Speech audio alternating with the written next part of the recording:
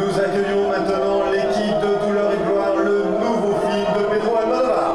C'est la Dream Team du dernier Pedro Almodovar, celle grâce à laquelle la sixième tentative sera peut-être la bonne à Cannes.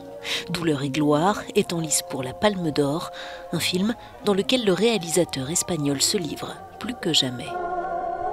À travers une introspection ponctuée de flashbacks, Almodovar y raconte les tourments d'un réalisateur en crise incarné par son complice Antonio Banderas.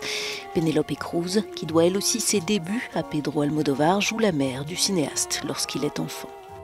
Le récit empreint d'une douce mélancolie n'en reste pas moins fidèle à l'univers coloré du réalisateur, dont c'est le 21e long métrage.